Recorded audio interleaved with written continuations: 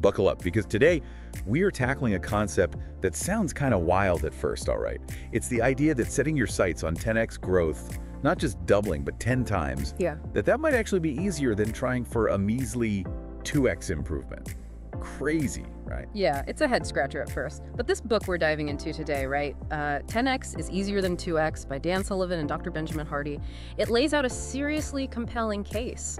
And it all boils down to like the psychology of it, you know? How we approach challenges and how aiming insanely high can unlock like a whole other level. 10x is easier than 2x. Well- I'm not gonna lie, the first time I saw that title, I was like, come on, really? But then I started flipping through it, and bam, they hit you with these stories like Michelangelo and his approach to art. Oh, yeah. Talk about aiming high. Michelangelo's story is like the perfect example of what happens when you reach for something that seems impossible. I mean, this guy, he wasn't content with just being, you know, good at sculpting. He was obsessed with mastering human anatomy, like to a crazy degree. And he was not afraid to uh, get his hands dirty, let's say.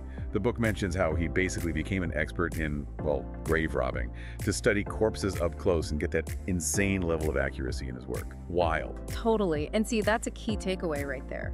When you set a 10x goal, something that pushes you miles past your comfort zone, it forces you to ditch your old, comfy ways of doing things. Like tweaking here and there just won't cut it. You need a whole new approach. It's like, what's the difference between shaving a few minutes off your marathon time versus saying, I'm going to win this thing?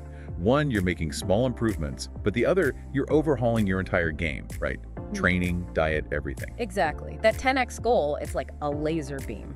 Cuts through all the noise and helps you zero in on the actions that actually make a difference. You're not getting bogged down with the small stuff. Speaking of cutting through the noise, the book talks about this business consultant, Dr. Barnard. He uses this impossible goal strategy with his clients. He says asking, how do I increase profits by 10%?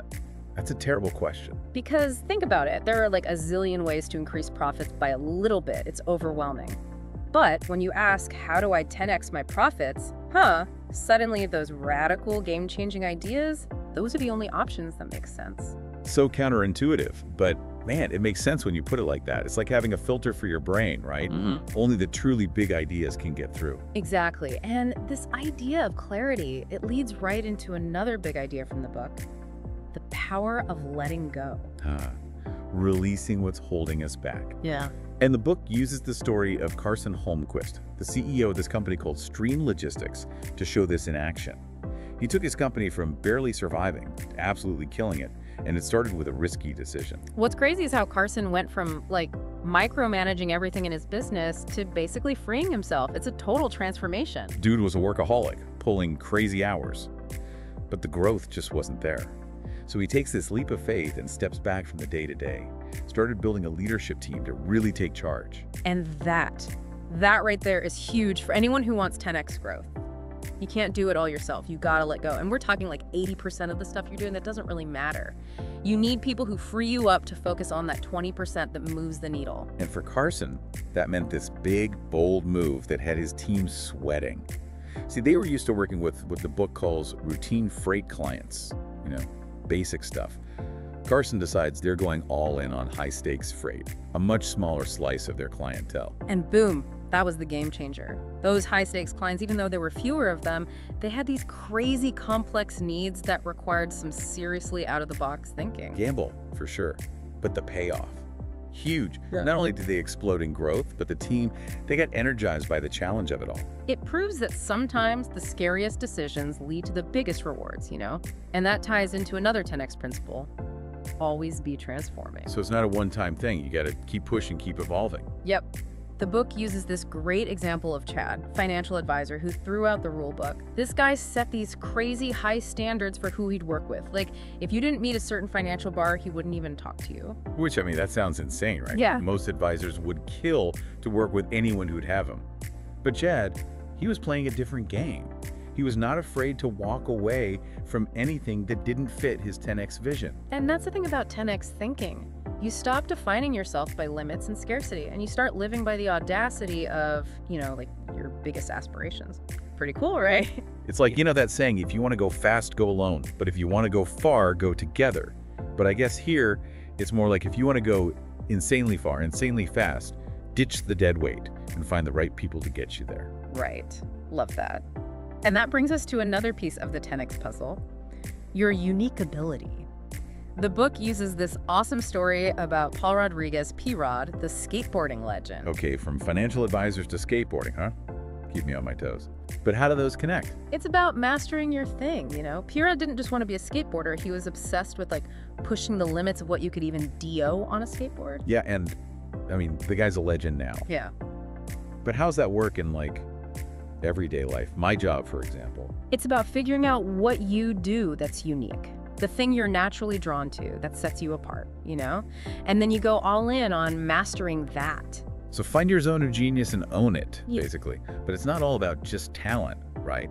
The book's big on hard work, too. Totally. It takes dedication, practice, pushing your limits, all that to develop your unique ability. It's like setting those impossible goals but within your own expertise, you know? And I love how they use P-Rod to show, like, knowing your worth, too. This dude negotiated a shoe deal with Nike when he was just a kid. Seriously. And he wouldn't sign unless he got his own pro model shoe. Even with this huge opportunity, he knew his worth. He knew he brought something special and wasn't going to budge. That's confidence, man. And that's what happens. When you embrace your unique ability, confidence just comes naturally. You're not afraid to set high standards, you know, demand that people recognize what you bring. It's like going from that scarcity mindset of needing every opportunity to, like, you get to choose the ones that excite you, the ones that fit that 10x vision. Yes. Abundance, Yeah. choosing what serves you. Which leads us to another 10x power tool, time, like how we see it, how we use it. Ugh, the eternal struggle. Yeah. time management. The book has some interesting ideas here. It contrasts how we traditionally see time, chronos time, with a different approach, kairos time. So Chronos time, that's your clock on the wall, right? Linear about filling your schedule, checking things off. A daily grind. Got it. But kairos time, it sounds like it's more about those moments of breakthrough, like being in the zone. Yes, it's when you're so locked in that time disappears. And the book argues that those 10x achievers, they figured out how to structure their time for maximum kairos moments. So working smarter, not harder, being intentional with your time. And there's a framework for this in the book, right? There is. It's about organizing your time around three types of days free days, focus days, and buffer days. Okay, I'm listening. Break those down for me. Free days are all about you. No work allowed. You recharge, let your mind wander, make space for creative breakthroughs. Sounds amazing. No emails, no calls, just dot relaxation, brainstorming. Exactly. Giving your mind space to wander is crucial, according to Book. That's when you get those big aha moments. Your subconscious working on things while you're like on a hike or something. okay, I'm into this. What about focus days? Focus days are for, well, focusing. This is your deep work time, heads down, no distractions, tackling your most important tasks. Ideally, stuff that uses your unique ability. Makes sense. Deep work day. Then what are the buffer days all about? Buffer days are like the bridge between the other two. This is for catching up on emails, planning, organizing those essential tasks that don't need peak creativity but still need to get done. So you create a flow to your week. Yeah. You know, intense focus, intentional rest. I like it.